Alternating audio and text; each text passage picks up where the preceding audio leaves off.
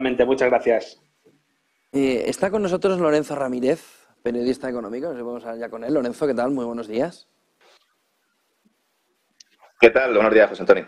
Eh, acabamos de sacar un informe, eh, Lorenzo, no sé si has podido verlo, del 28 de abril, firmado por el propio gobierno, en el que dice que la subida de los precios de los alimentos son 90 y pico por ciento por la importación, sobre todo de energía. Es decir, descarga toda responsabilidad en el informe, después de la, monserga que nos han dado durante meses, de los supermercados, que no serían los culpables del aumento de los precios de los alimentos, sino que serían los salarios y sobre todo la importación. ¿Cómo deja el gobierno en esta fotografía después de habernos dicho que eran los malos malísimos? Incluso el informe dice que el IVA, la reducción del IVA, se ha repercutido al 100%.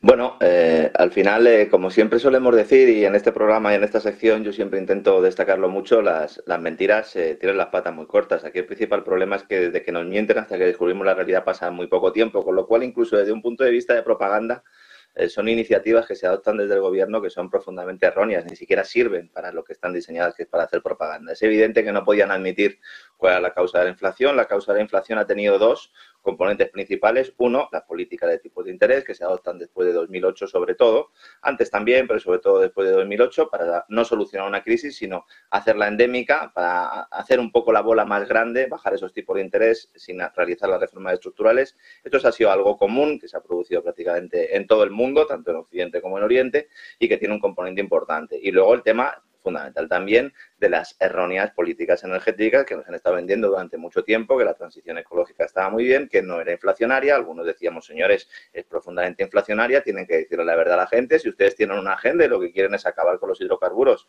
algo que siempre hemos explicado aquí que es imposible, si quieren reducir ese eh, consumo de hidrocarburos, si quieren apostar por otras fuentes energéticas, tienen que explicar a la gente que esto es profundamente inflacionario, inflacionario en todos los elementos de la cadena de distribución, desde que se producen los bienes al principio, en el caso de los alimentos, desde el sector agrícola hasta que finalmente acaban en los supermercados. Normalmente cuando se producen todos estos fenómenos, lo que hacen los gobiernos es culpar en primero al lugar a los empresarios, sobre todo si son intermediarios. Entonces dicen, bueno, alguien habrá llevándose todo este dinero, ¿no? Y entonces se culpa a los supermercados.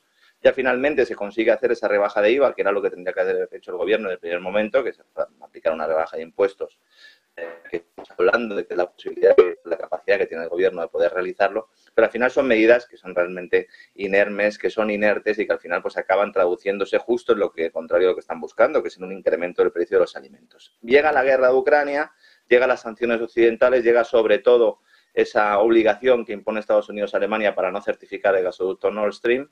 Nord Stream habría facilitado en buena medida esa política de transición ecológica. Fíjate qué paradoja, cuando ya podríamos haber empezado a recoger esos frutos, porque habríamos tenido un gas abundante y barato que nos hubiera permitido utilizarlo como respaldo y haber realizado pues esa implantación de energías renovables que con independencia de lo que piense cada uno, con una energía de respaldo, pues podrían haber sido perfectamente competitivas.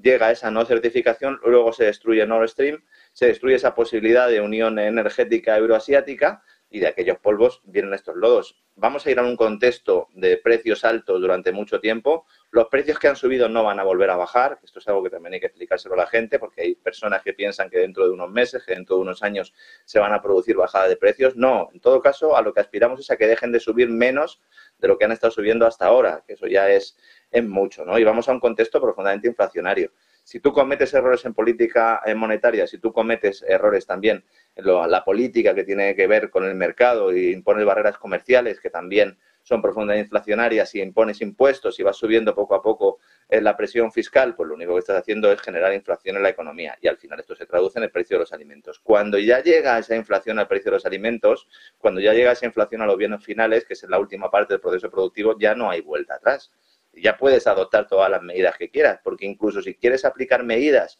de subvenciones, de cheques, incluso de ayudas a las personas que tienen más problemas para llegar a fin de mes, estás alimentando esa espiral inflacionista. Entonces tienes que buscar cabezas de turco y siempre habrá algún informe, siempre habrá algún organismo que te ponga la cara colorada, como decimos aquí, ¿verdad?, en España, y que puedan eh, pues poner negro sobre el blanco y certificar lo que es un hecho y lo que algunos veníamos anunciando, avanzando, y nos llamaban negacionistas, antipatriotas y todo, todo el pack, ¿verdad?, que va em, o que va en línea ¿no? con, las críticas que hacen siempre los gobernantes de todos los que planteamos los errores y los elefantes en la habitación ¿no? que hay en sus políticas.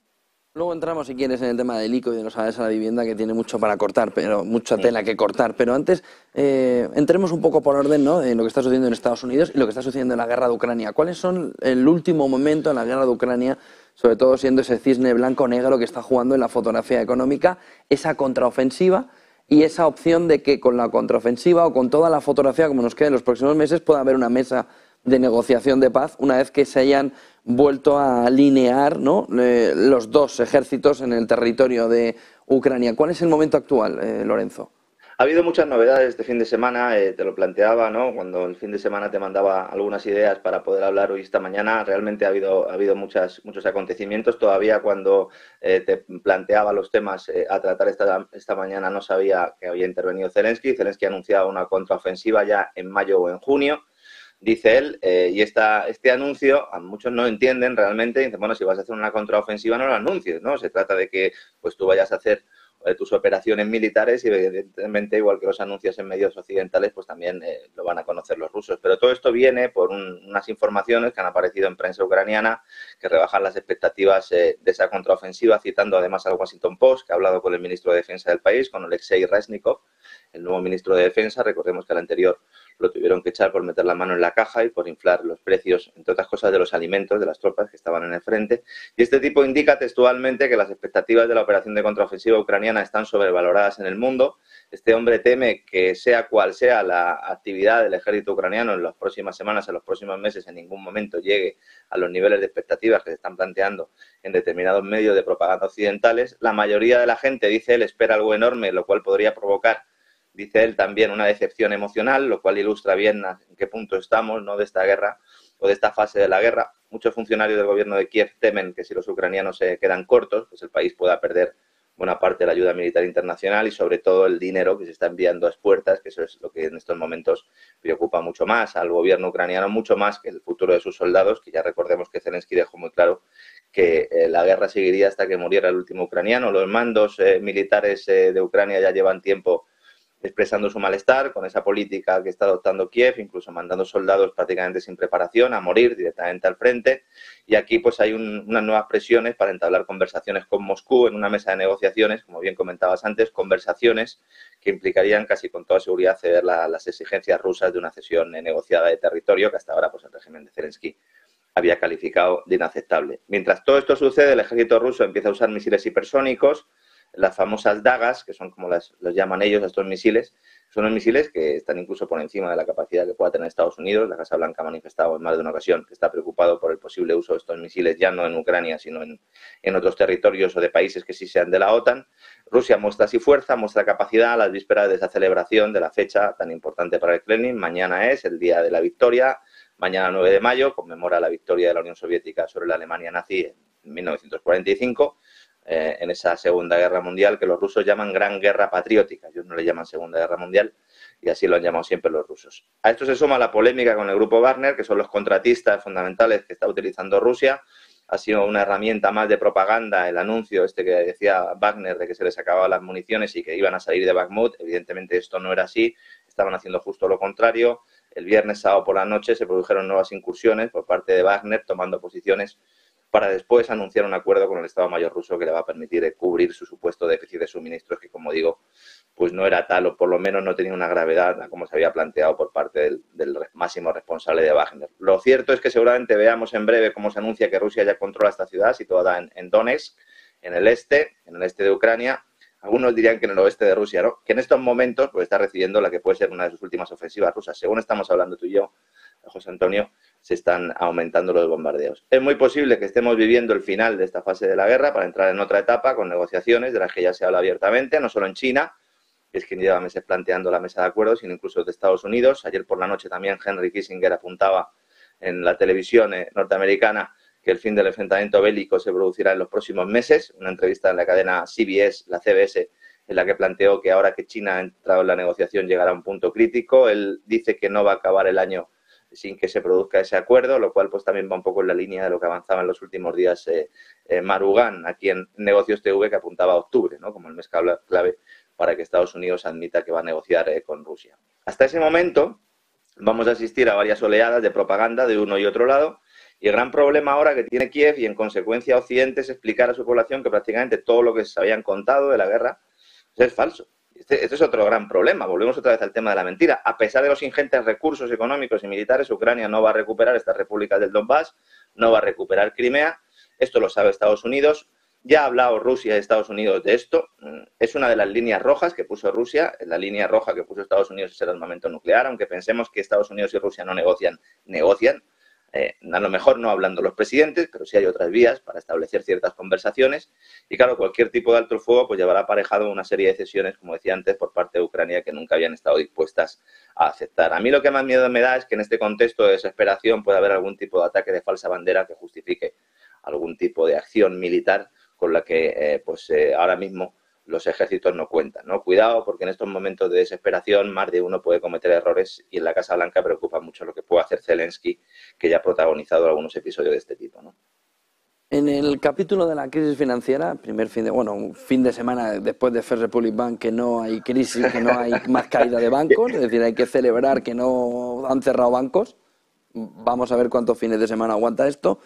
Eh, tenemos un informe importante de la Universidad de Stanford hablando sobre las reservas de capital. ¿Qué es lo que dice Lorenzo?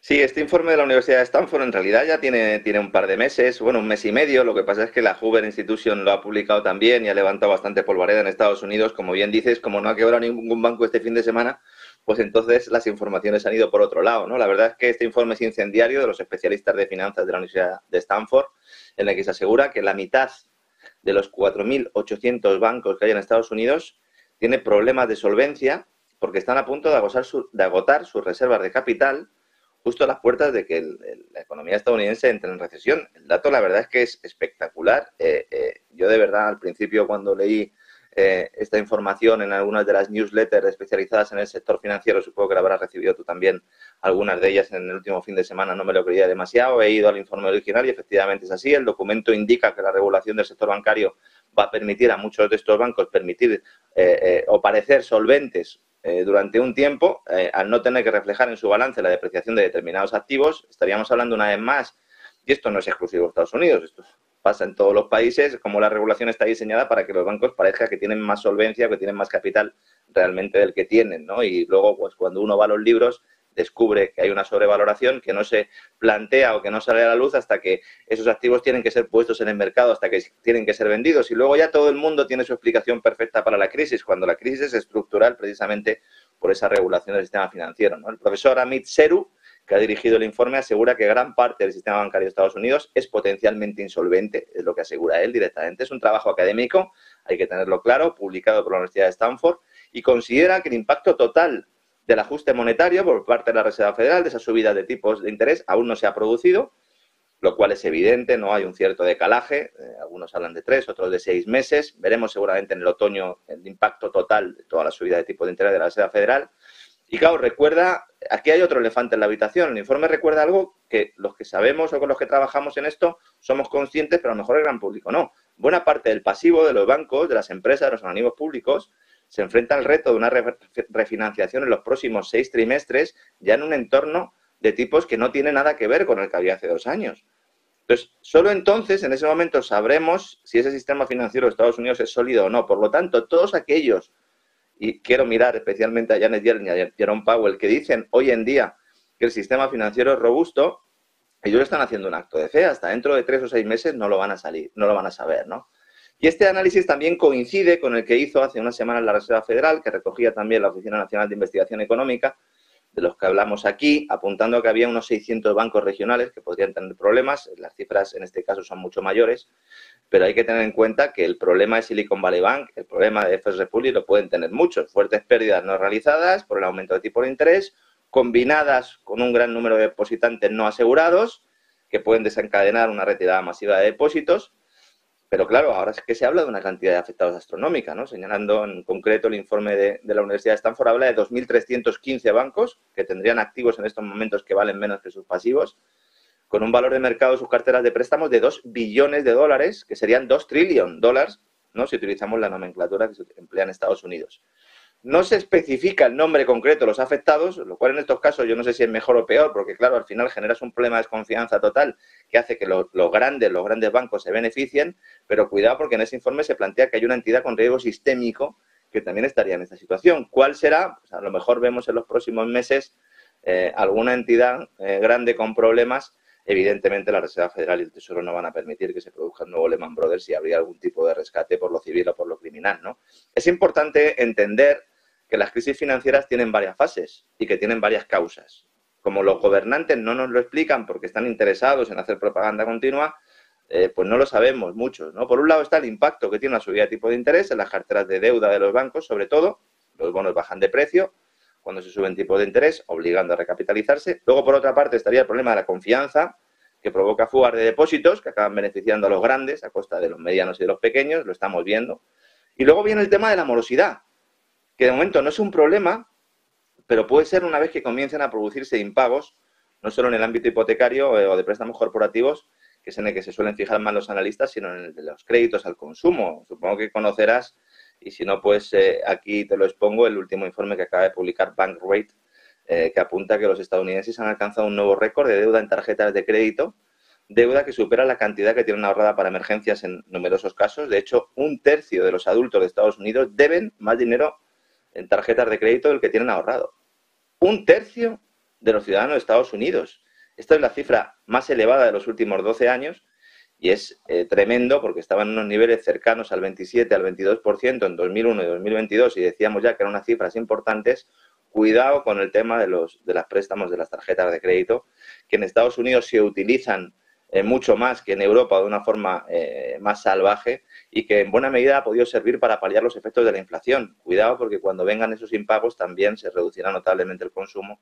El gobierno español me preguntabas antes por el tema del consumo, sabes que ahora defiende que el consumo en España está bajando porque la gente sale mucho a comer a los restaurantes, ¿no?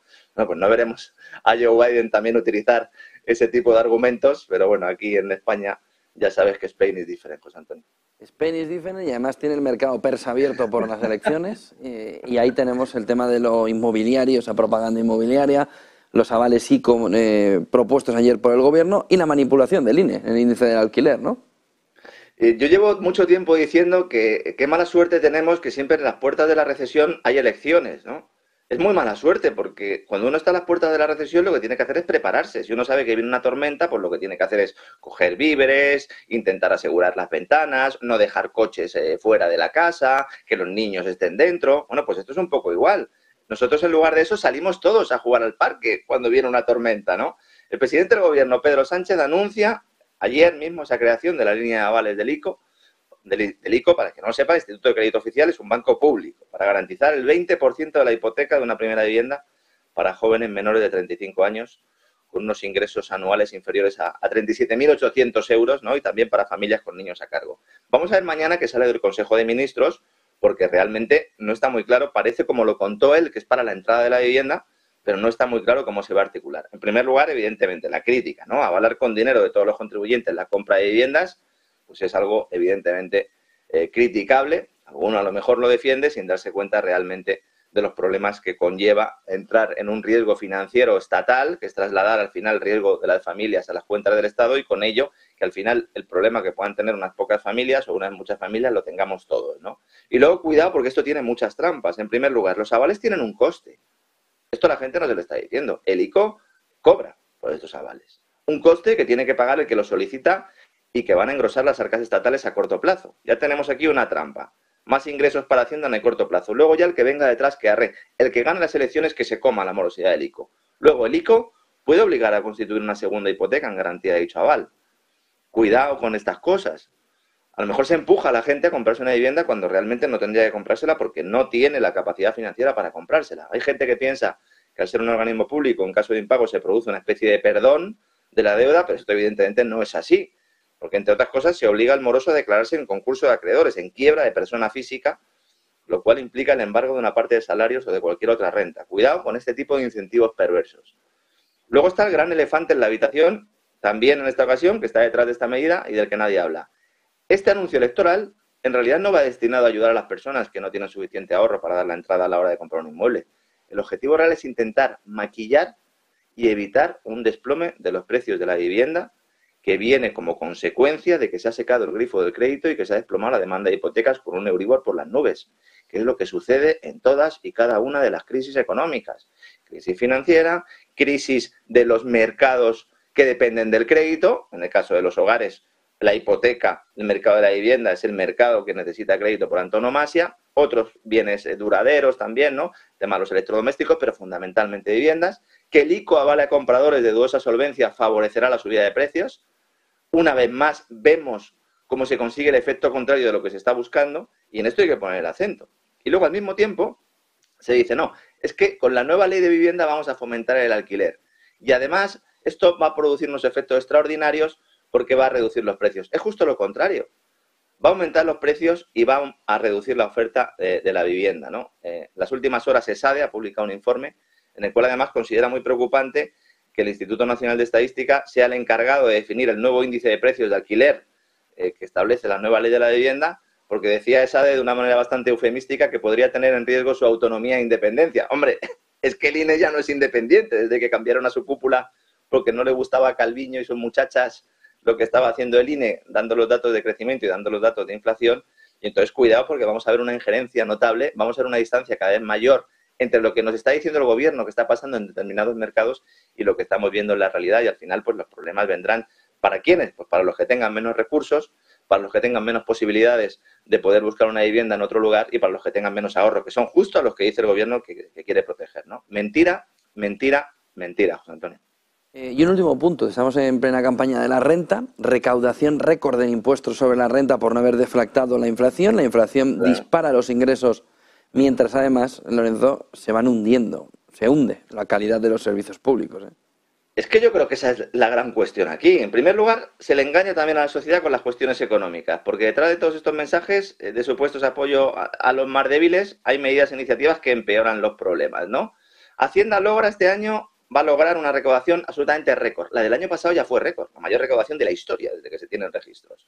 Y ahora se va a recaudar aún más, sobre todo basándose en ese impuesto sobre la renta. Como bien dices, la principal razón no es la recuperación económica, que es lo que siempre dice el gobierno, eh, sino la clásica argucia muy vieja de no deflactar el IRPF a pesar de la inflación, es decir, no actualizar los tramos del impuesto en función de la subida de los precios, lo cual pues, provoca que los contribuyentes paguen más, aunque en términos reales no hayan tenido un aumento de poder adquisitivo. Es decir, que aunque mantengan el poder adquisitivo o incluso en algunos casos lo reduzcan, pagan más IRPF. Esto no lo ha actualizado ningún gobierno. Lo que pasa es que antes no había inflación, al menos oficial. Ahora, en un contexto inflacionario, gana como siempre, no iba, iba a decir la banca, pero en este caso Hacienda. Y luego hay otra vía de ingresos fiscales, que es ilegal, que suele pasar desapercibida, que es la estrategia de Hacienda de inflar las sanciones utilizando sistemas de cálculo irregulares. Algo sobre lo que acaba de pronunciarse el Tribunal Supremo en los últimos días, también una sentencia que amenaza con provocar numerosas anulaciones parciales de sanciones. Y luego, la cuestión de los servicios públicos. Señores, no puede ser que tengamos la mayor recaudación fiscal de la historia y que tengamos unos servicios públicos en clara retirada. Lo de, la, asistencia primaria en los centros de salud es de país tercermundista en España, lo cual además está provocando que muchas personas acudan a sus seguros de forma masiva sus seguros médicos privados, lo cual está haciendo que al final el problema también se traslade a esos eh, eh, eh, seguros médicos privados. Pero es que no solo pasa con la sanidad. Hay que ver cómo están los colegios públicos en España. Sitios donde prácticamente hay que llevar el papel higiénico para que los niños puedan ir al servicio. Si tienes unos récords, unos ingresos récords, si dices que estás creciendo al 5%, si dices que la seguridad social va como un tiro, si suben las pensiones en función del IPC, no tendrás que atender a tus servicios públicos. Claro que a lo mejor ese dinero tiene que ir destinado a otras cosas. Normalmente la gente siempre piensa, la grasa política, ¿verdad? Las comunidades autónomas, que es verdad que tienen un importante gasto, sobre todo por la duplicidad de determinadas, determinadas competencias, pero ya lo decía Borrell la semana pasada, el gasto social de la Unión Europea tiene que ir para armar a Ucrania. El gasto social de la Unión Europea tiene que ir para la transición ecológica, para la Agenda 2030 y para una serie de objetivos de desarrollo insostenible que lo que hacen es meternos la mano en el bolsillo mientras cada vez nos dan unos servicios públicos mucho peores. ¿Y eso qué hace? Pues justificar ulteriores intervenciones del sector público para solucionar unos problemas que han, creado en realidad ellos, ¿no? Es la, clásica, eh, la clásica herramienta, ¿no? O la clásica tendencia que usan los políticos y en buena medida algunas grandes multinacionales que se aprovechan de ello pues para ir poco a poco engañándonos y para ir poco a poco teniéndonos ¿no? en, en ese redil. Al final, pues nosotros, algunos, estamos aquí diciendo las verdades del barquero, que por otra parte es lamentable ¿no? que este tipo de mensajes no surjan en otros medios, no sean eh, más populares, porque realmente son bastante evidentes, José Antonio. Eh, bueno, y de todo esto, al final Lorenzo acabará en una crisis de deuda salvaje como Francia empieza ya a vivir después de la rebaja de rating que tuvo hace dos semanas. cuidado con el... negativo, a, negativo. Cuidado con el estado de bienestar francés. Cuidado con ese sistema porque ha demostrado su más absoluto fracaso y según la pirámide de la población y según las estructuras de gasto de todos los países, vamos a un entorno en el cual no se va a poder financiar ese estado de bienestar. Alemania acaba de anunciar en las últimas horas que quiere una tarifa muy barata para su industria electrointensiva. A buenas horas, mangas verdes, nunca mejor dicho. primero, no queréis el gas, ruso, ya ahora tenéis que poner una subvención muy parecida a lo del tope ibérico, pero en este caso una tarifa para las empresas electrointensivas que ya anuncian que se va a cubrir con gasto público. Al final, las necesidades de elevar el gasto de los que son, eh, Lorenzo, que son 30.000 millones eh, de euros, ¿eh? Claro, pero es que todo eso al final... Y, la, opción de dumping denunciado por China, seguro, ¿eh? Claro. En cuanto lo haga. primero, que eso se, va, se tendría que aplicar a toda la Unión Europea, lo cual ya va a generar un problema, evidentemente, con China y con otros países de fuera de la Unión. Pero luego es que eso va a hacer más necesario, va a ir avanzando en esa agenda de una unión fiscal para emitir esos famosos eurobonos que ahora se están utilizando en el marco del Next Generation EU, pero que en el futuro pues van a servir para financiar todas estas políticas y al final es trasladar riesgo, riesgo importante, soberano, al resto de la economía. Y vamos a tener crisis de deuda importantes, pero no solo en España, en Italia o en Francia. Podemos tener una crisis de deuda en Alemania. Y esas crisis no se pueden solucionar, porque ¿a quién vas a llamar para que te ayude? Esa es la gran cuestión. Aquí no se está hablando y cuando suceda todo esto, cuando dentro de unos años tengamos esos problemas estructurales, nos dirán que la culpa es de Putin, que la culpa es del cambio climático o de los extraterrestres, que parece ser que van a venir ya a visitarnos. No sé si pasarán por el programa. Si vienen los extraterrestres, habrá que entrevistarles aquí en Negocios TV. Gracias, Lorenzo Ramírez. Feliz inicio de semana. Buen día y buen negocio, Lorenzo. Igualmente, un abrazo. Pero una cuestión antes de despedirnos en este business.